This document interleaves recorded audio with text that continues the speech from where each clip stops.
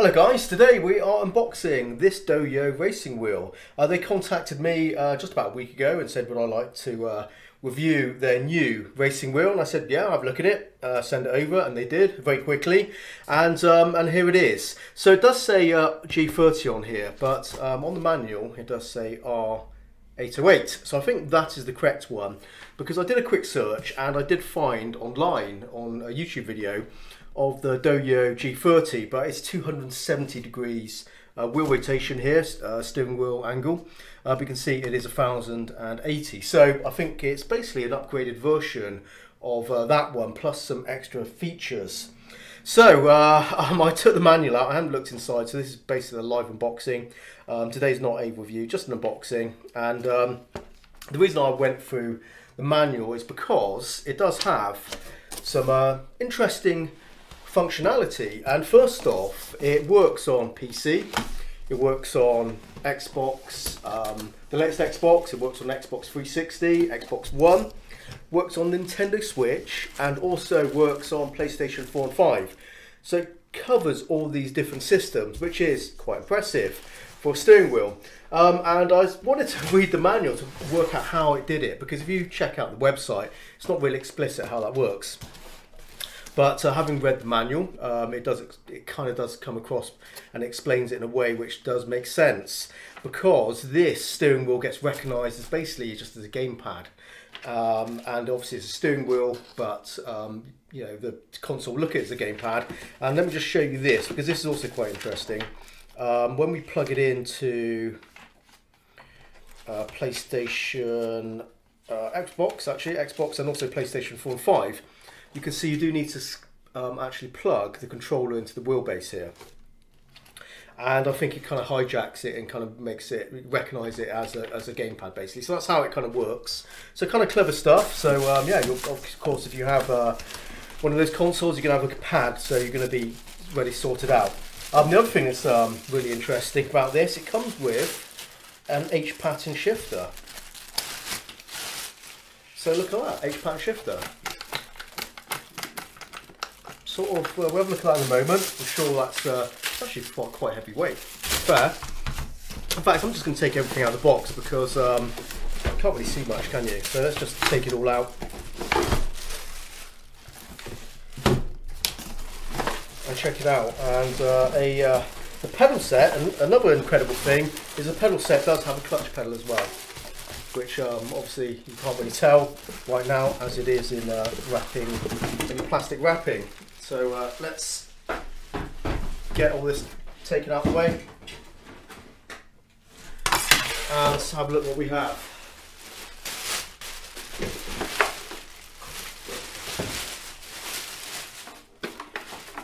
Okay, so there is the wheelbase. Um, wheel, uh, the actual wheel rim obviously is detachable, comes off there. Uh, we have, uh, I'll go through this in a moment because there's a few things again which are quite interesting.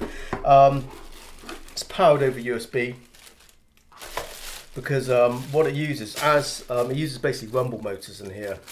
It doesn't have standard force feedback as uh, as you and me know it. It uses basically gamepad rumble motors, so you do get an effect, and it's going to work with that. So yeah, uh, there's a lot going on um, here. Uh, what is kind of curious, so we got suckers on the bottom for the pedals, is uh, why it's separate and why it doesn't sort of just click together. So it is, yeah, I mean it's, it is wide up, it's not like a, it's not as if it's um, separate from what I can see here, but we'll just tear it off and see how this, uh, see how the cable runs. Okay, yeah, so clutch is there, plugs into there. I guess it's for just moving around. I don't know. It's it's an odd one, but you know, basic suckers there. And uh, yeah, so of course very basic for sure. So let's get these out of the way. Uh, here is a clamp for the shifter.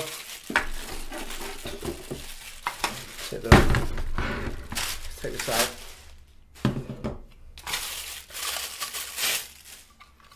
Okay, so plastic clamp for the shifter. It goes in the bottom there. I have to say, not too dissimilar feeling to uh, the Logitech Driving Force shifter, to be fair. So, does it go down?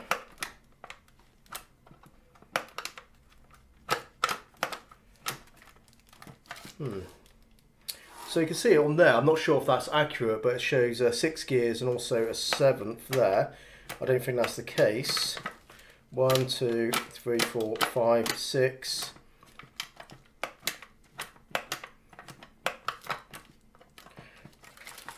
I'm just seeing if it's sort of spring loaded like the um, Logitech Driving Force shifter where uh, the reverse gears you push down and you get like another level. I don't think that's the case here. It might be. It might be. It might actually be. Uh, I'm not sure. We'll check that out for the review. But that's actually really solid. That's actually pretty solid. Um, oh, back plate for that. So we don't need to look at that now. Uh, a couple of USB cables. Simcat's down there. Uh, she might jump up in a moment. Uh, the steering wheel. So what's that about? Know, two, 260, something like that. 260, 270. Um, chunky, hard plastic. Paddle shifters. Um, some buttons on there. You can see uh, replicating console buttons. Little D-pad. And some bits and pieces on here. So let me just uh, show you a moment so you can just take a look. But yeah, this, you know, is what it is. Solid enough though, you know, okay. Another look at the wheelbase. Uh, two USB cables at the back. Um, and so actually it's quite useful actually. There's some information in the back, you can just see there just there tells you what plugs into what as we do have some ports there which are really hard to see due to the lighting so I'm going to try and get it down there. Yeah there's some USB sockets there. For plugging in um, the shifter and the pedals. And it tells you what you need to connect in and also one for the controller. For as I said if you're going to use it on console you plug in a controller in the back and it piggybacks off that for the control. Um, but yeah, it's solid enough. Um, interestingly, um, this one is kind of like um, a bit of a weird one because I, I, looked at the instructions. I had a good read of these, um, and um, I'd say the instructions are clear, but there's a lot of detail you don't need to really know about. It goes over the top, and it's not particularly written well English wise. So it's a bit of a it's a bit of a chore to kind of go through it. But when you have in front of me, you know, in front of you and you read it, it'll probably make more sense. But there's a high and low gear setting here. So from what I can establish from that, it means you effectively get 12 gears on the gear shifter. So it'll be like uh, in a, in low gear, it'll be gear one to six, and you go to high gear, it'll be then gear seven to 12. That's how it works from my understanding of reading that. Um, it's fair enough. Um, here is a Simcat. Hello, Simcat. I did warn you she's going to come up. Oh, now look what you're doing. Simcat. She's making love to the camera. no, no Simcat, no. Um, table clamp is uh, very similar to the, the Logitech type of clamp. And it's good to actually see a table clamp on here rather than just suckers like you have on a lot of these cheaper wheels, which is, you know, not really good at all, really, is it? Um, although, as I showed you earlier, you do get suckers on there for some reason. I mean, do you really need suckers? Just, just be like rubber feet on there. Um, actually, there's some kind of hole things there, so you could sort of hard mount them in some goofy fashion if you really wanted to, but I don't see why you would. You know, it's not particularly uh, strong tension on those. Uh, let's get this wheel mounted to here. So um, it does have uh, effectively a quick release, right? So uh, which is uh, quite interesting to see. So uh, you can see it has these notches on there and those bits on there. So it kind of mates in place so you can't mess this up. And um, there's a screw collar which is very reminiscent of uh, the Thrustmaster quick release, to be fair. So let's just screw it in place.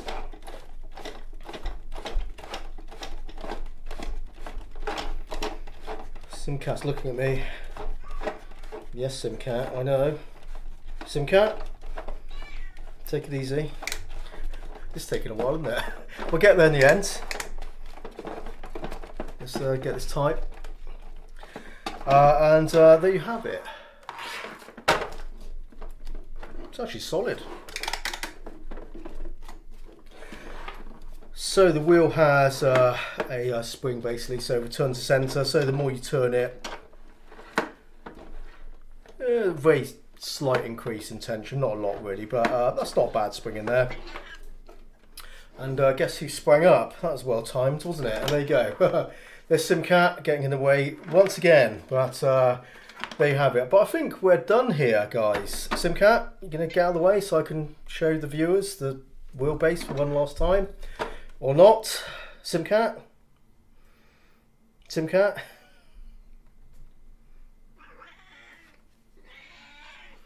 That's the Simcat show. On then, bugger off. There you go. She's gone. Uh, there you go, guys. That's my first look at the Doyo um, 808 steering wheel. Uh, review in the near future.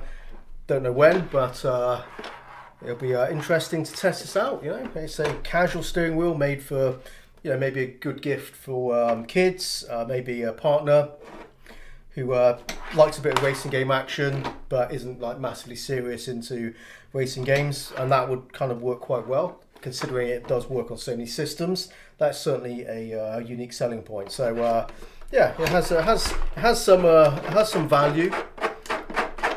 Uh, so that's quite interesting. So uh, yeah, we'll check this out in a future video in the review, and I'll give you more details on the setup and everything else, and see if we can get it running on a on my Xbox 360 as well, and as well as PC, and how we get on. Okay, well there you go, guys. Thanks for watching. Uh, drop comments below the video as usual, and I'll see you soon. Until next time, happy simming, and bye bye for now.